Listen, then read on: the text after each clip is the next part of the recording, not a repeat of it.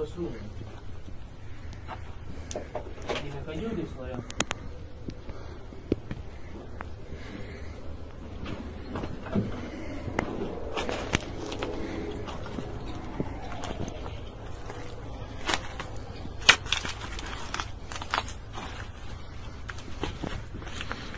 А тут нам оставили небольшие подарки. Один.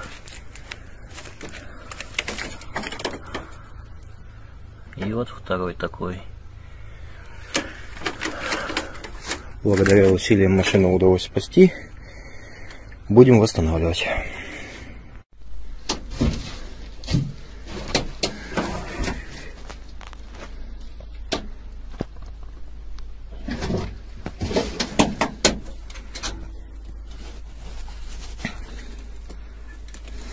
Охуенно.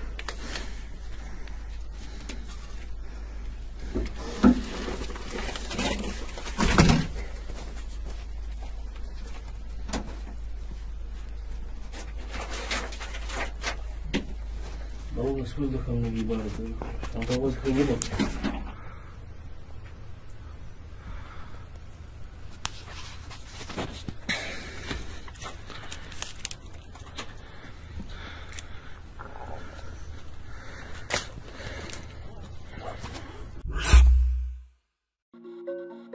The Russian Shahid droners flew from Ukraine to Belarus for the second time in a week.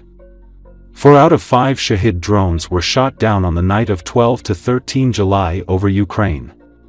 The fifth drone flew towards Belarus.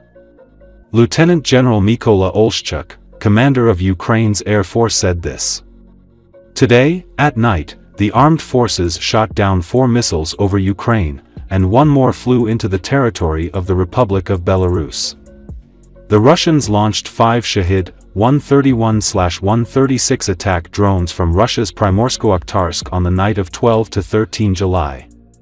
Four Russian drones were downed by mobile fire groups within Donetsk and Kharkiv oblasts. The fifth drone exited Ukrainian airspace, heading towards Gomel Oblast in Belarus. Belarusian Hajun claims that the Shahid flew over the territory of Belarus more than 350 kilometers, up to the Vitebsk region. The Shahid flew over the cities of Gomel and Zlobin, entered Mogilev Oblast, and then Minsk Oblast, coming as close as possible to the city of Minsk. Belaruski Hajun writes that a Mi-24 helicopter and a Su-30 fighter jet were scrambled to intercept the Shahid. The aircraft was spotted just in the area of the UAV's flight, the border of Minsk, Mogilev and Vitebsk oblasts. Later, the UAV entered Vitebsk Oblast of Belarus and presumably flew towards the city of Vitebsk. It is not known what happened to it further.